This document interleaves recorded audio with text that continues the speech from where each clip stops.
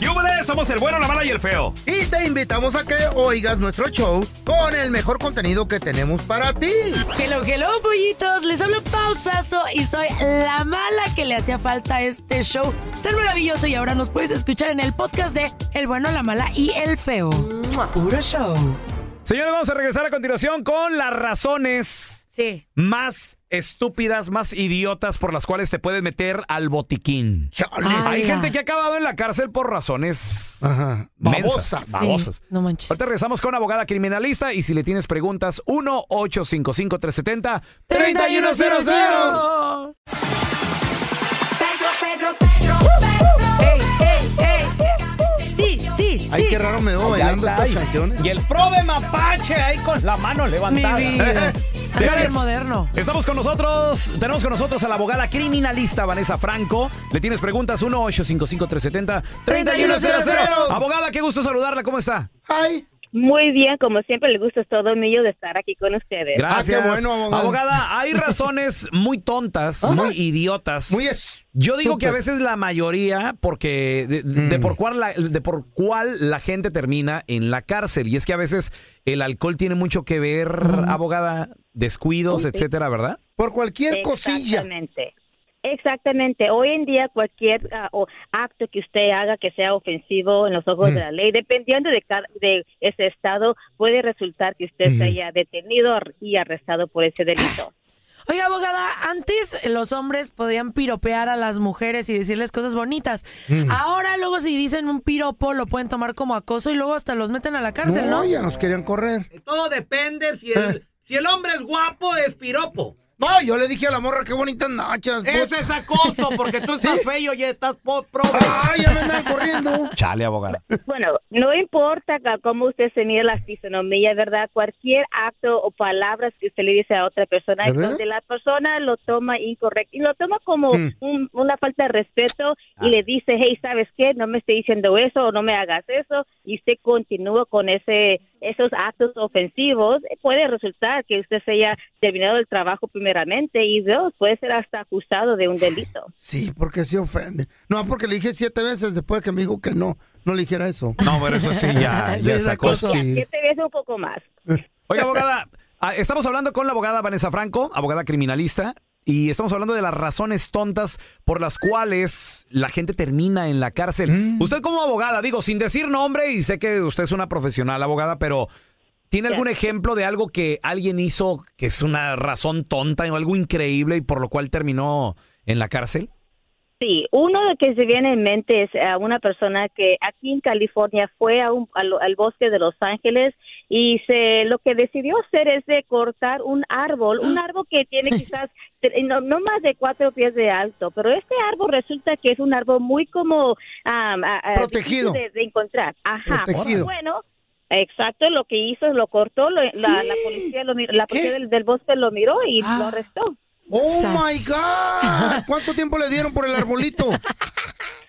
Le dieron un día, pero esta es la cosa más increíble. Ese árbol cuesta 50 mil dólares. ¡Oh, Wow. Pues, ¿de qué es el árbol de, de, ¿De Santa marihuana Claus? o El bonsai Oiga, de abogada, Miyagi. ¿es verdad que aquí en California es contra la ley eh, eh, arrancar los aguacates, la fruta del vecino y todo eso?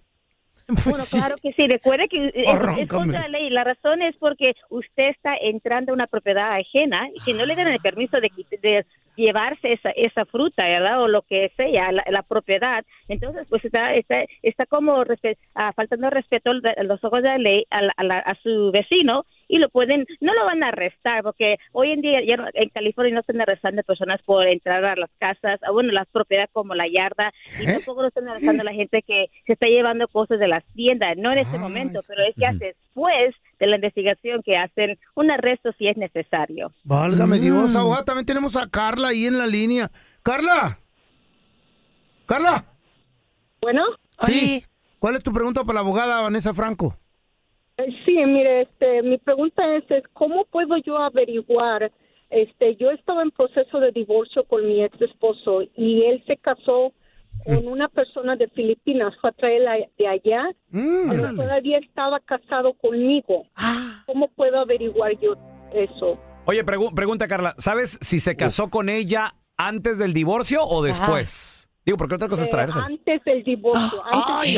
Ándale. Canijo. Regresamos con la respuesta de la abogada, suele suceder. Y manda tus preguntas. 1-855-370-3100. Quiero una rusa yo. No, no es así, no es. Ponme tu Señores, estamos de regreso con abogada criminalista Vanessa Franco. Preguntas 1-855-370-3100. Nos quedamos con la pregunta de Carla. Dice que, pues, su marido se fue y se trajo una mujer de Filipinas. Desdichado. Y al parecer se casó con ella antes de divorciarse de Carla. Ay, Y pues quiere saber qué puede hacer. Esas son bien buenas para dar masajito. No importa, Ay, está ay, casado. No le hace. Y la de Filipinas sí cocina. Y sí, no también. como Carla, que de seguro lo malpasaba al hombre. Carla, Ay, lo que está diciendo tu Don Tela de ¿Cómo ti. sabe? Carla, no les hagas caso.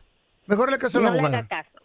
Lo que yo sugiero es que vaya al consular de, de, de, los, de los Philippines en el estado donde usted vive. Cada estado tiene un consular de, de, de, ah, todos los países, Ajá. ¿verdad? So, ahí usted puede agarrar información general, información si las unas personas, si se ha casado su, ahorita, todavía actual, su, su esposo con otra persona allá en los Philippines. ¿Podría, Eso es lo que yo sugiero. ¿Podría ir al bote el vato por casarse allá y, y estar casado aquí? En mi opinión, no. La, razón es porque el acto pasó allá en los Philippines y no aquí en los Estados Unidos, ¿verdad? So, si un acto ah, que usted hace es un acto criminal en los ojos de la ley y lo comete en otro país, entonces aquí los Estados Unidos no tienen jurisdicción, no tiene permiso, Ah, autorización de, de a comenzar una- un cargo criminal contra la persona. O sea, te puedes casar en todos los países del Ah. Claro, universo y no tengo pasa una nada. esposa en cada, todo el mundo. A ver, No, yo- qué feo. oye, Carla, una pregunta. ¿Y esta chava que es más, es más joven, la de las Filipinas, o por qué tanto amor para...? No, está, no, no, no está joven. es- yo creo que debe tener, estar, estar un poquito más grande que yo. Pero el problema es de que él también lo hizo conmigo. Yo ¿Cómo? tenía 16 años y él 35 y se casó Eh. en México conmigo Oh y me pasó como su esposa y cuando fuimos a corte porque me golpeó, este, Mm. resulta que apareció su ex su esposa Oh, ahí, y también tenía. Ay, no se fue a mi lado. No, un, un, un bígamo cualquiera. Ay, no. ¿El que Este lo hace? Hombre malo ese. güey. Abogada, a ver, estamos hablando de las razones Tontas. tontas. por las cuales a veces uno puede terminar en la cárcel. Sí. Puede, eh, ¿qué, qué hace uno, por ejemplo, si el árbol del vecino está afectando la barda de la casa la de está uno? tumbando pa- porque, pa' tu lado. porque, por ejemplo, le, le platico, abogada, mire, Mm. en su casa, su humilde casa, ¿verdad? Ay, tengo una barda, ay, la que está, la que está despuesito del helipuerto, Ahí Ay, se- ¿qué más? ¿Qué más? al lado de las caballerizas. Por las canchas de tenis. No, las canchas de tenis están en la ala oeste. Ah, ok, ok, No, ok. no te confundas, Paola. Ay, perdón, es que Allá me donde pierdo tengo- en esa casa. la- donde tengo las piscinas olímpicas, Ah, están sí. del otro lado. Oh, wow. Sí. Entonces, abogada, el árbol este está molestando, ya casi se cae la, la barda. Cállate que vives en Huntington Park, tú. ¿Qué puedo hacer, abogada? Lo que puede hacer, esto es algo más civil y recuerde, soy abogada criminalista, defensa criminalista aquí en California, pero lo que puede hacer, puede usted hablar con su vecino respetuosamente, "Hey, esto, de- tu árbol está afectando la, mi propiedad. Ya dijo que no y me echó hasta el pitbull. Güey, Oh, ¿neta? entonces, ok, si le echó el bro. entonces, entonces no, él, él cometió un acto criminal. Usted lo puede hasta llamar, puede llamar a la policía porque you know, lo, lo pu- puso su vida en, en riesgo. riesgo. Pero lo- ahora la, la segunda pa- paso es de ir a la corte civil, hacer como una demanda civil contra este contra el vecino Mm. para que remueve, quite ese árbol. Perfecto. Válgame Dios. Ay, tenemos aquí a Esperanza. Estamos con la abogada criminalista Vanessa Franco. ¿Qué pregunta le tienes, Esperanza? Ay. Esperanza. Ah, hello. Sí, buenos días. Buenos días. Buenos días. Ay. ¿Qué pregunta le tienes a la abogada? Ah, estaba preguntando porque yo soy ciudadana, pero mi hermano fue deportado ah, hace como 10, 12 años por estar manejando bajo la influencia del alcohol. Y él fue Mm. deportado, entonces mi pregunta es si él puede arreglar papeles por parte mía. Bueno, buenísima pregunta. Aquí am, todo depende de las circunstancias por las cuales él fue deportado. Yo sé que dice que fue deportado por un por manejar bajo la afecto de un DUI. Am, y, y como dije, inmigración tiene muchas ah, leyes y hay consecuencias por cada acto criminal. So, lo que yo sugiero es que hay que hablar con un abogado que, que se especializa en inmigración y, por supuesto, le pueden decir todas las opciones. Lo que yo hiciera en este caso, hiciera una revisión de, la- de su de la historia ay. criminal de la persona, de aquí de su Mm. hermano, para ver si, si es posible que él pueda ingresar nuevamente a los Estados Unidos después de esa deportación. Eso, Esperanza, saludos. A, eh, un- a ver, eh, si, ustedes, si a ustedes se perdieran todos, Sí. la abogada y a ustedes, eh, ¿quién se perdería al último? ¿Qué? ¿Cómo? No entiendo. ¿Por Es- qué? Esperanza, porque la esperanza es lo último en perder. ¡Ay, don Ay, Tela! qué chistoso. Ay, no. Abogada, ¿dónde la gente la, la puede seguir en redes sociales, llamarle si tiene alguna pregunta? Bueno, los pueden seguir en Instagram, que es arroba defensora, y también los puede llamar al teléfono que es 1-800-848-1414, 1-800-848-1414. Gracias, abogada, you, por estar aquí con nosotros. Adiós. Claro que sí, se me quedan todos. Bye, bye. Ay, ay, ay, no te vuelvas loco. Ya regresamos con el podcast del bueno, la mala y el feo. Puro show. ¿Te gustan las rancheras, los boleros o te gusta más la música de banda? Mm, ¿O eres de los que no deja de cantar los tumbados más pegados? Entonces sigue escuchando el podcast de las repegadas y entérate de lo que pasa en el mundo de la música. Estás escuchando el trío más divertido de la internet. Yeah. O sea, nosotros, el bueno, la mala y el feo puro show en podcast.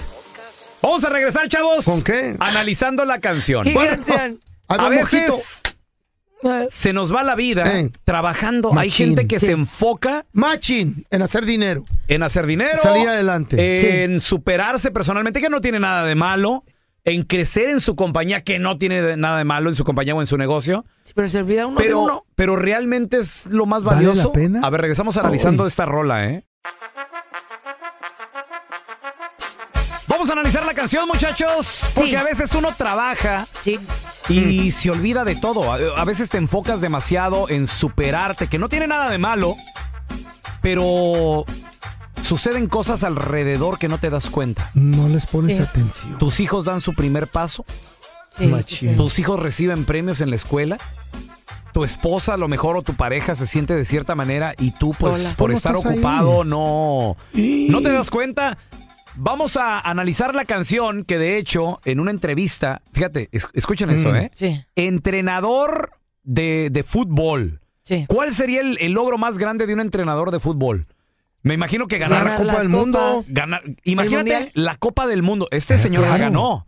Carlos Vilardo, el narigón Vilardo, él fue el entrenador de Diego Armando Maradona Wow. cuando se coronaron campeones en México 1986.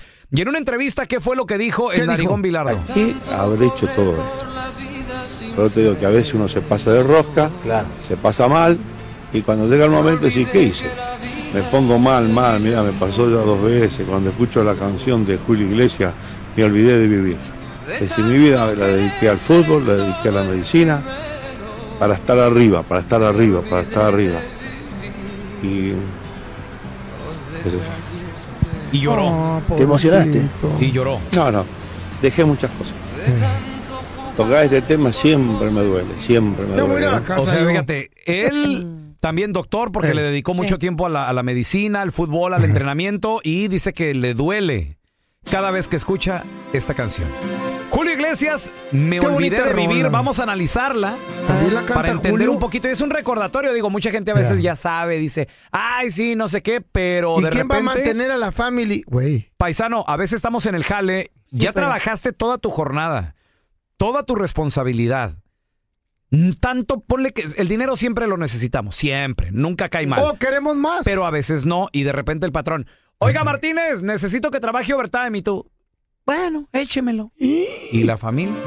Y luego llegan a casa y ni pelan. Llegan y son inocentes. Tanto correr por la vida sin freno. Sin freno. Me olvidé que la vida se vive un momento. A ver, a ver, a ver, a ver. Aquí dice Julio Iglesias en, en esta Qué palabra. bonita rola. De tanto correr por la vida sin freno, me olvidé que la vida se, Se vive vive un momento. un momento. Dios mío. Me llegó Ahora, hasta el A mí también. Podrán ser. Esa es La copiona. expectativa de vida de un ser humano es de 80, 85 años. Más o menos. Si viviste más de eso, yo creo que ya, ya, Ya. ya, date por bien servido. Ay, me quedan dos. Cállate. Ahora, el detalle está de que tú dices, son 85 años, pero es, es un momento. Ya cuando estás ahí volteas hacia atrás, es un, es un momento, ya no, es- ya no es nada. Disfrútenme, muchachos, no voy a hacer que me... Yo te disfruto siempre. Ay, no, Tu compañía es maravillosa. Ya lo que queremos es que te mueras. ¡Ah, ya No, ves, Pau! nunca. Este que- viejo es el que que quiere suba el rating, Yo tú, nunca. fao. Oye, viejo estúpido. De tanto querer ser en todo el primero. Oh, my God. Me olvidé de vivir los detalles pequeños. ¿Qué pedo? Fíjate. Espérame. De tanto Fuera- querer ser el primero en todo. Sí. Me olvidé de vivir Ay, los- los detalles pequeños. Los pechos me dolieron. O sea, es- no, es que es verdad, digo, a veces... Sí, y, y en- claro. y en tu vida tal vez no te das cuenta Ah. lo que perdiste o, o no te das cuenta los momentos que, en los que no estás ahí. Por ejemplo, detallitos pequeños, ir a dejar a tus hijos a la escuela. Yo sabes cuál veo Ir uno? por ellos a la escuela, llevarlos por un Mm. heladito, tener el tiempo Claro. por lo menos, porque habemos padres que salimos tan temprano de la casa que están nuestros niños dormidos, nuestras parejas está dormida, y regresamos tan tarde que ya todo el mundo también está dormido. Comer. Simplemente comer. ¿Tú ¿Qué? disfrutas cuando comes? A veces Uno no. come así como... A veces es de volada. como robot. Exacto. No disfrutas las cosas básicas de la vida. Wow. Tráiganme, por favor, un pastel. De tanto jugar con los sentimientos, viviendo de aplausos envueltos en Ay, amá. sueños.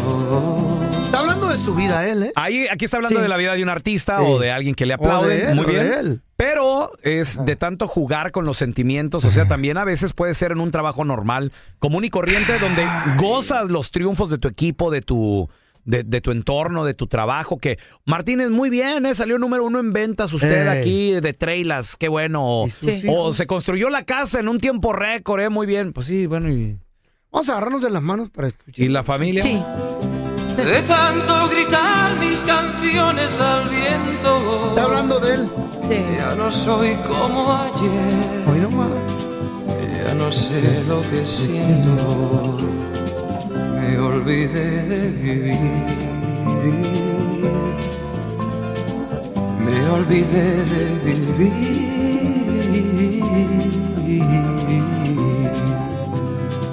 Me olvidé de vivir. Me olvidé de vivir.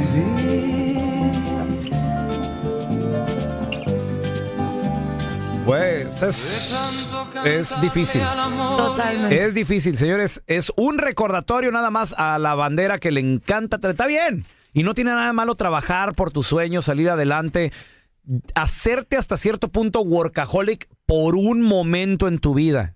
Pero, pero tiene que tener un fin eso, o sea, y hablarlo también con las personas importantes en tu, en tu vida. Dile eso a las Decirles, mujeres que quieren bolsas de marca también. Pues sí, pero las pajuelos exigen y quieren y les gusta. No, Ya no pidan eso. sí, no es difícil. Vamos a regresar, chavos, con la enchufada. ¿Qué? Tenemos el teléfono? ¿De quién? ¿De quién? de un compita. Vamos a marcarle. Ah. Le voy a susurrar una Ay, canción. Ay, no nos susurres, En el oído. Se me hizo. Un compa. Sí. Para ser exactos, mi compa el Julio. Ah, me cae re bien. Llevaba dos años aquí en Estados Unidos el vato y había comprado una, una trocona de esas perronas. Se endeudó hasta el tronco. Hola, hola. Y luego se casó con una gabacha gorda y le arregló papeles. ¿Qué tiene que ver el peso del No, chiste? no, no, no, no. Ese, él fue para Washington. Tiene que ver todo. Ahí ¿Por había qué? gabachas gordas de que te quieren Todavía. mexicanos flaquitos. Sí. Y, "Uy, you wanna marry me paper for you. Y pum, le atascó un chamaco. ¡Hala! Y ahí va a presumir a la vieja para allá, cuando le dieron la gringa, para allá para el Terry, para Michoacán. Error, eso no se hace. Güey, Eh. va a presumir a la gorda y a No, la pues, trocota. Gua- Y Anda. luego va con el niño. Y ya como que el vato se le había subido. Sí. Pasaban por taquerías ahí en la carretera. Uy, uh, se- I'm hungry, decía la gordita. I'm hungry, y el niño también. Iban camino a Michoacán, ya llegan a Michoacán, pero no llegaban al pueblo y dice, Uy, pues es que hay, hay mucho taco ahí, hijo, tacos. Y la, y la gringuita quería tacos y el vato, oh, no, no, no, excuse me, no, no good, no Oye, sí, good. al Uy, qué se payaso. Se le subió al también. Julio, loco. Ya no me cae bien. Y luego viene un señor ahí caminando, un país ahí en la carretera. Y se para el Julio ¡ah! en su trocón. Dice, excuse me, mister. Ah, hijo, y el aquel güey, ¿qué? Y el paisito, ¿qué pasó, oiga? Este, ¿usted sabe si ahí en el pueblo que sigue hay Kentucky? Y el vato le dice, sí, en el pueblo que sigue hay Kentucky, quien cante y quien baile. Y pone- ¿Carnicería El Pelón? Hola, ¿tiene buche de puerco? ¡Ah! ¡Que si tenemos buche de puerco! ¡Sí! ¡Sí tenemos! Pues ya no trague tanto. ¡Enchufada! Aquí te presentamos la enchufada del bueno, la mala y el feo. Gracias a la gente que nos manda mensajes. Estamos en Facebook, Instagram, arroba bueno, malo, feo. Nos dicen ahí, eh, pao, pelón, feo, enchúfense a mi primo, a mi compa. Chavos, ¿han, han escuchado esta canción? ¡Ay, qué eso! ¡Ay, no lo escucharon. Eso. Quisiera favor. gritar, pero ando ronco, hijo Sí. la- Susúrralo, susúrralo. No, no, es que el feo ya pura música en inglés. Y no sé. Ay, oh my God. en Kentucky. Sí, Kentucky, ¿Quién baile? ¿Eh? A ver. Tenemos el teléfono. Este compa, Eh. Ricardo, dicen que es de Michoacán. Ok. También está en- Le voy a decir que acá entre nos. Ay. Bueno, Eh, Ricardo, mande. ¿te puedo decir algo acá entre nos? ¿Quién habla? Perdón, ¿quién habla? ¿Te puedo decir algo acá entre nos? A ver, dígame. Quiero que sepas la verdad. ¿Quién habla? ¿Cuál es la verdad? No te he dejado de adorar. Ay, se emocionó. Ay, Diosito santo. Allá en mi triste soledad Ande, me han dado ganas de gritar arránquese. y salir corriendo y preguntar ¿Qué ha sido de mí? qué es lo que ha sido de tu vida. Y chambeando. Ricardo, Dígame. acá entre nos. Siempre te voy a siempre te voy a recordar. Y hoy que a mi lado tú no estás, no me queda más que confesar que ya no puedo soportar. Ricardo, Aquí estoy, aquí estoy. que estoy odiando sin odiar y respiro por la herida, Ricardo. ¿Quién habla? Perdón, ¿quién habla? Por presumir, a mis amigos les conté que en el amor ninguna pena me aniquila. Ay. Ricardo, Mande. que para probarles de tus besos me olvidé. Y me bastaron unos tragos de tequila. Les platiqué, Ricardo, que me encontré con otro amor. Sí. Y que en sus brazos fui dejando de quererte. Que te aborrezco desde el día de tu traición, perro. Y que hay momentos, Ricardo, que he deseado hasta tu muerte. Sangre de Cristo. Chiquito. No te creas, Ricardo, te estamos enchufando, güey. Oye, este vato. Ya te estaba gustando, ¿verdad? Ya me lo estaba creyendo, vale. Ya andaba bien feliz. Ay, ay, ay. Eso es todo, eso es todo, eso es todo, amigos. Hasta aquí se acabó el episodio del bueno, la mala y el feo en podcast. Gracias por escuchar el podcast del bueno, la mala y el feo. Neta, pero las risas y diversión pues no paran. Así es que sigue escuchando más episodios del podcast del bueno, la mala y el feo. ¡Puro show! Conecta tus audífonos, ajusta el volumen y disfruta de toda la oferta de podcast que tenemos para ti en Euforia Podcast. Noticias, deportes, encuéntranos en la app de Euforia o en donde sea que escuches tus podcasts.